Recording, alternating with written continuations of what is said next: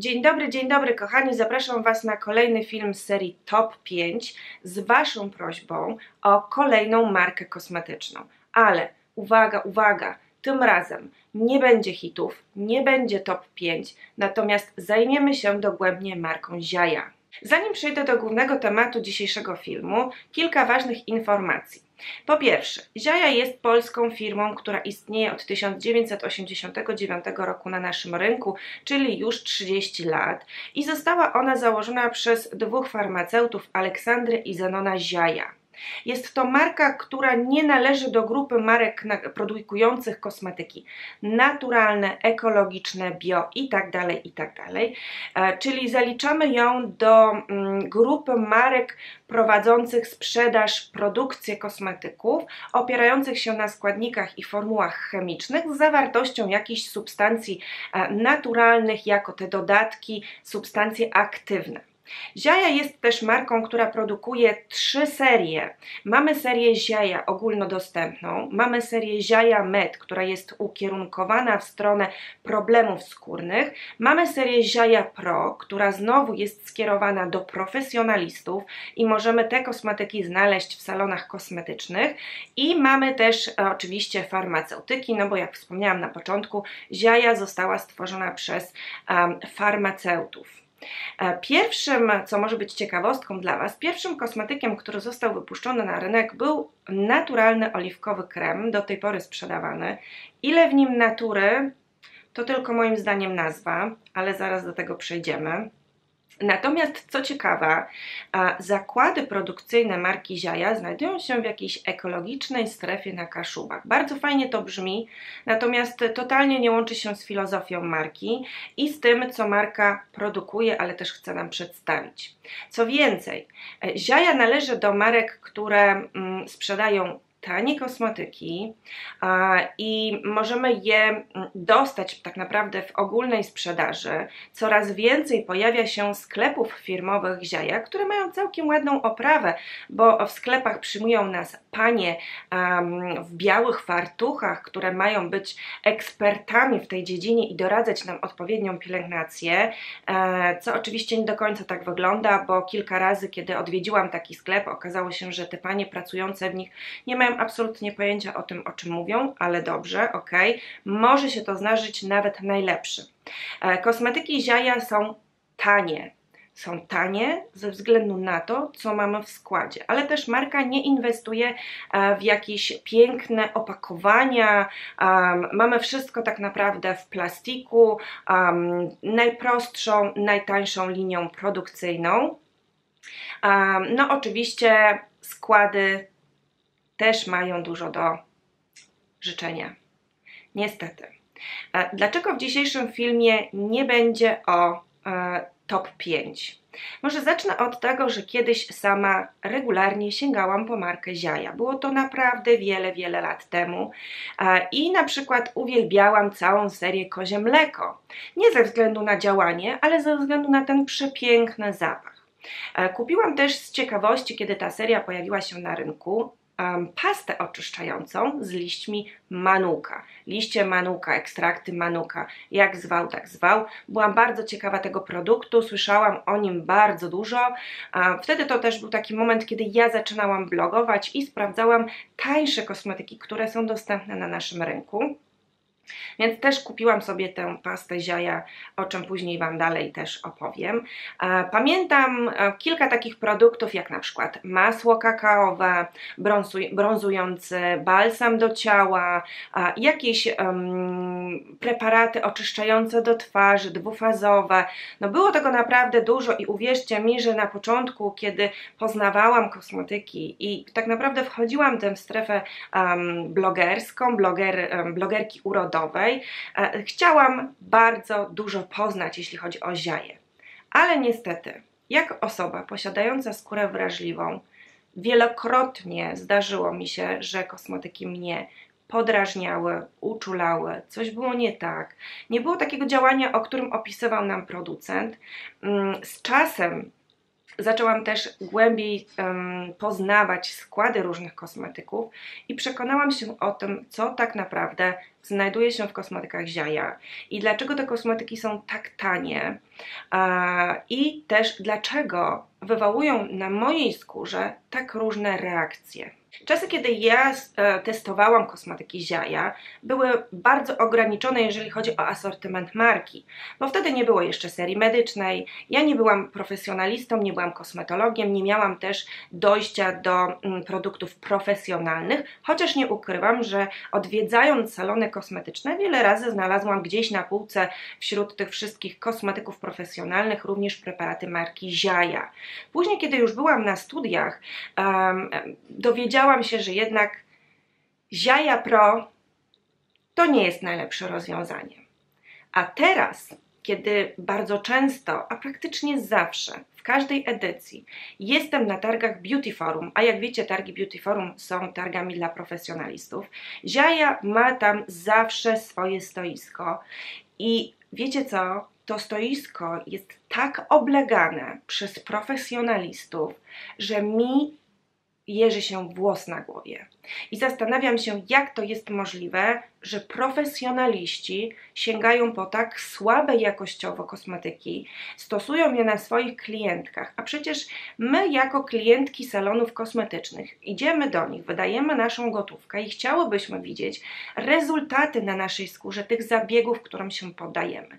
A jakie rezultaty mogą przynieść preparaty o bardzo niskiej jakości, bardzo niskich stężeniach substancji aktywnych i tak naprawdę mm, preparaty, które no nie do końca mogą przynieść nam takie efekty jak należy.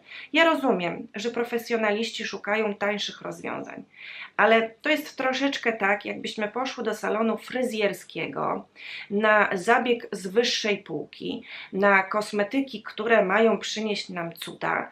I później się okazuje, że w tym salonie kosmetycznym, w tych opakowaniach, po tych kosmetykach, które mają przynieść cuda, są wlane konsystencje jakichś tanich zamienników. To jest mniej więcej coś takiego i mam nadzieję, że mnie w tym rozumiecie.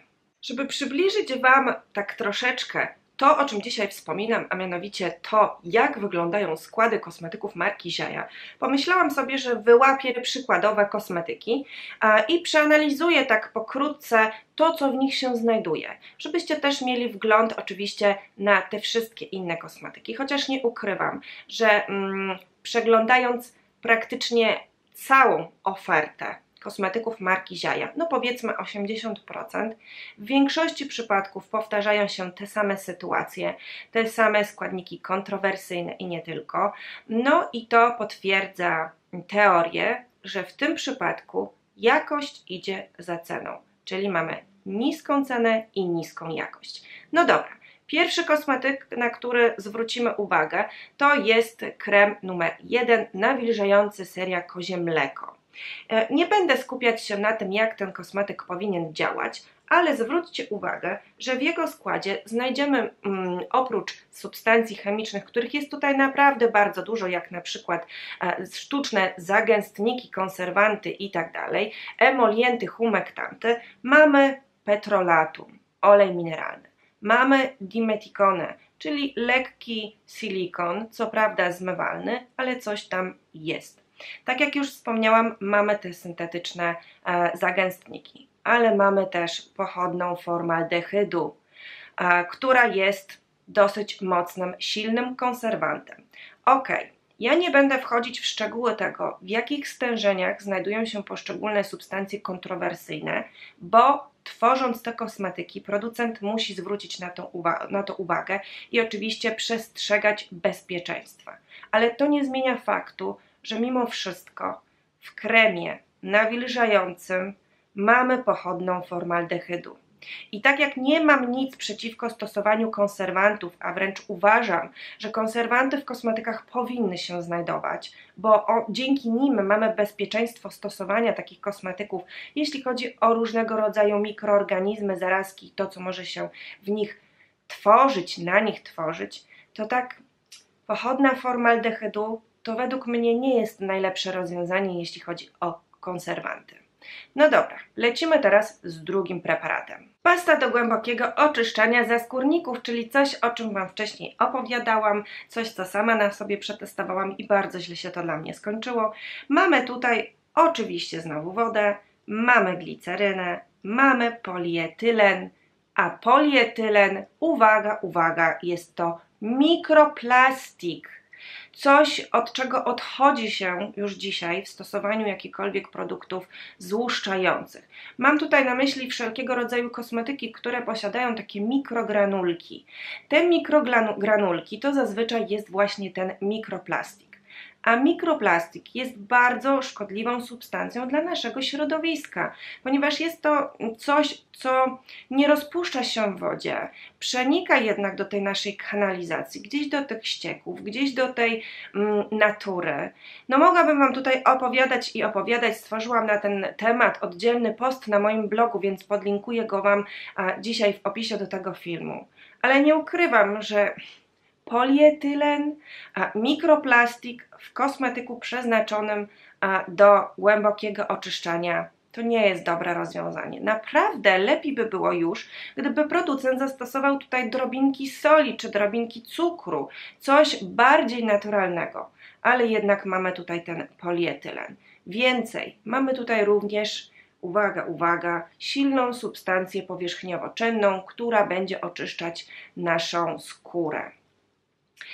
I teraz tak, jeśli tworzymy kosmetyk, który jest przeznaczony do głębokiego oczyszczania i taki, który e, jest też przeznaczony do cery mieszanej i tłustej, to po pierwsze producent powinien zrezygnować ze stosowania drobinek złuszczających, które będą pocierały skórę i doprowadzały dodatkowo do mikrouszkodzeń na tej naszej, naszej skórze, która już jest w jakiś tam sposób uszkodzona i mamy te stany zapalne. Jeśli do tego dołożymy jeszcze silnie powierzchniową, a, oczyszczającą substancję, to musimy też do takiego produktu włożyć coś, co będzie chroniło nasz płaszcz ochronny mm, skóry, ten płaszcz hydrolipidowy. Więc trzeba to czymś zalepić. Tutaj znowu producent wkłada kolejną chemię. I tak naprawdę w tym kosmetyku mamy błędne koło, bo substancji aktywnej, czyli tych liści manuka, jest tutaj naprawdę niewiele, a chemicznych substancji bardzo, bardzo dużo.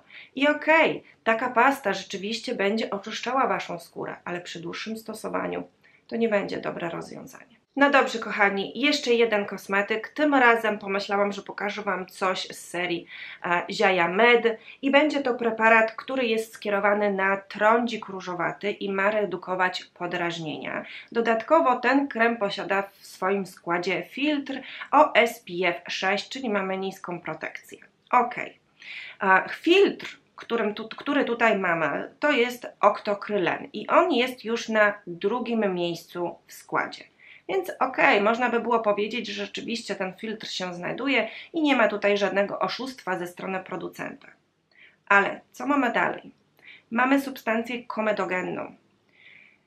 Ja się pytam, dlaczego, e, dlaczego producent stosuje substancję, która należy do tych substancji komedogennych w produkcie, który ma ratować skórę od trądziku różowatego? Ok, idziemy dalej. Na końcu składu mamy jakieś konserwanty i parabeny i ja nie będę wchodzić tutaj w szczegóły, zresztą już o tym mówiłam. Ale mamy też lekkie silikony przy leczeniu trądzikiem różowatym.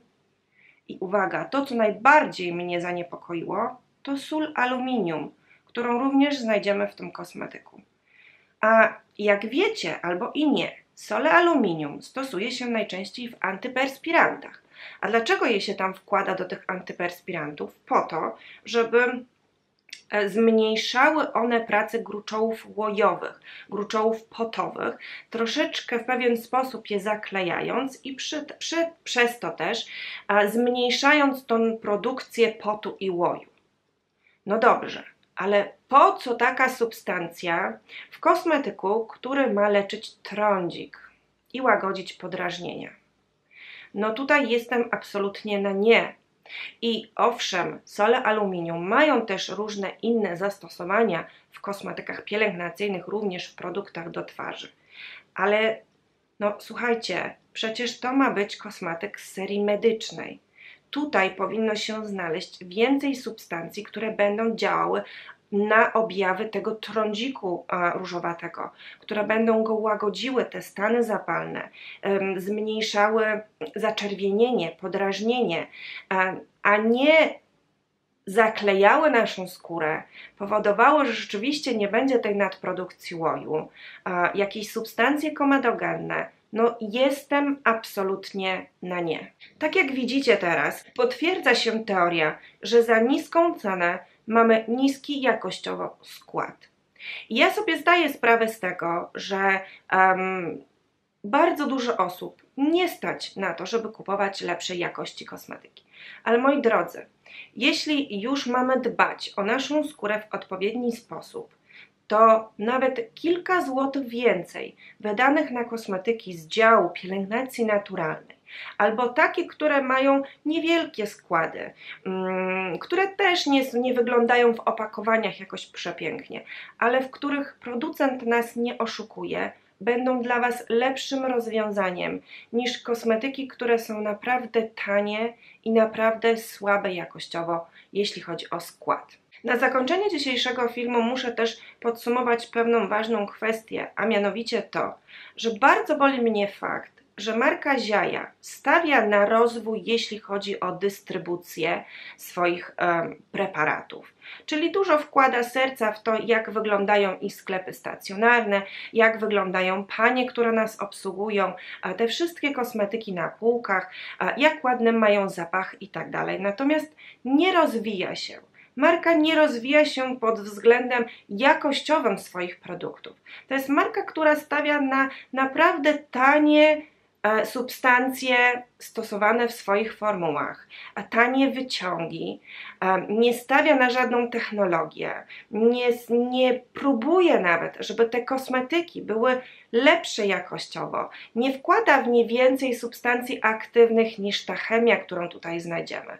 I jest to naprawdę smutne, bo na tle innych marek polskich, które też nie mają nie wiadomo jak drogich kosmetyków, marka Zieja po prostu się nie rozwija.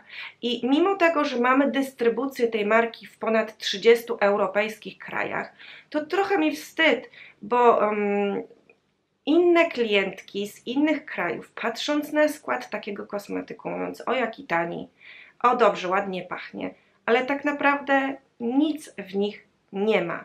I nie warto, mimo wszystko według mnie, nie warto jest inwestować w markę, która przeznacza serię medyczną na leczenie jakichś objawów, a substancje, które znajdują się w tych produktach mogą tylko pogorszyć stan naszej skóry.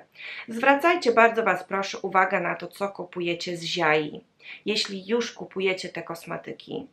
I mm, jeśli już po nie sięgacie, to raczej traktujcie je jako dodatek do Waszej pielęgnacji, a nie coś, co będzie wspomagać Waszą pielęgnację, działać leczniczo i pielęgnująco na Waszą skórę. Wiem, że ten film dzisiejszy jest dosyć krytyczny, ale chciałabym, chciałam w nim zawrzeć, zawrzeć dla Was jak najwięcej informacji, które mogą Wam się przydać w podejmowaniu decyzji, jeśli chodzi o różnych producentów i różne marki kosmetyczne. Ja bym bardzo sobie życzyła, żeby marka Ziaja jednak mimo wszystko popracowała nad składami swoich kosmetyków, żeby wykorzystała to, że ich zakłady znajdują się w jakimś ekologicznym miejscu na Kaszubach. I przez to też te składy kosmetyków wyglądają na bardziej, powiedziałabym, ekologiczne i naturalne, żeby jednak z, starała się zrezygnować z tych śmieciowych substancji kontrowersyjnych, które mają zapchać formułę kosmetyków, a nawet podwyższając odrobinę cenę swoich produktów, jednak pomyślała o lepszej jakości, o rozwoju marki właśnie w kierunku lepszych preparatów pielęgnacyjnych. Kochani, dziękuję Wam bardzo serdecznie za uwagę w tym dzisiejszym filmie. Podejrzewam, że będzie on dosyć długi, ale mam nadzieję, że wyczerpałam go tak jak się da. Oczywiście na liście od Was mam kolejne marki, także spodziewajcie się, że tego typu filmy będą się pojawiały regularnie i myślę, że następną marką, do której tutaj nawiążę, w top 5 będzie Bielenda. Tak myślę, ale jeszcze na 100% Wam tego nie zdradzę. Trzymajcie się cieplutko. Jeśli macie jakieś ale, Piszcie w komentarzach. Jestem bardzo ciekawa, jak u Was sprawdza się ziaja. Czy korzystacie z tej marki? Czy mieliście jakiekolwiek problemy skórne korzystając z tych preparatów? A czy macie może jakieś swoje perełki, które mimo wszystko dobrze sprawdzają się na Waszej skórze? Dajcie znać w komentarzach, a my widzimy się w kolejnym filmiku. Buziaki, pa!